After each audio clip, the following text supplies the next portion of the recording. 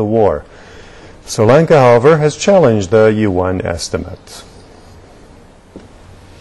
An alleged letter U.S. President Barack Obama has sent to North Korean leader Kim Jong-il may determine the course of future relations between the two countries. Here's more on that.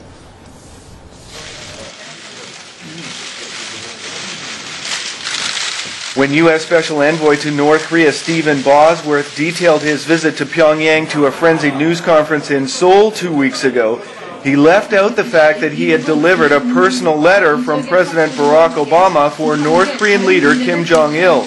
Back in Washington, administration officials tried to avoid divulging its contents as the back-channel negotiations that have characterized relations between the U.S. and North Korea continue. The president uh, uh, without getting into the details of diplomatic correspondence, uh, the president's letter uh, to the North Koreans coincided with and was delivered by uh, uh, Mr. Bosworth, who was there to uh,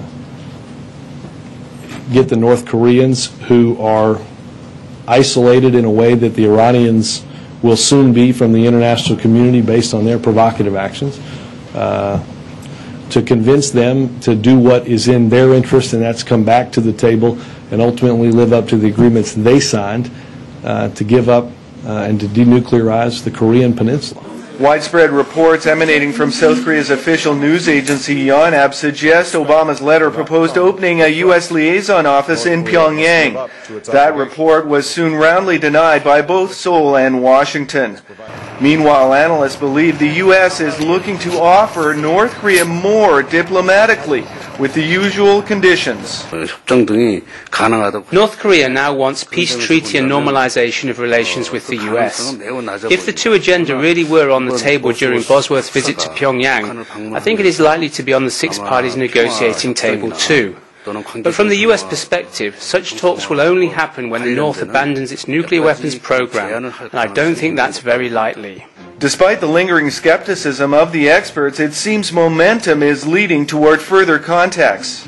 I spoke with several analysts on the prospective contents of U.S. President Barack Obama's letter to North Korean leader Kim Jong il, and they all seem to agree on at least one fact.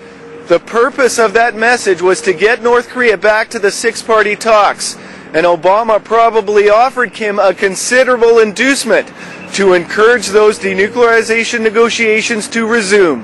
Frank Smith, Press TV, Seoul.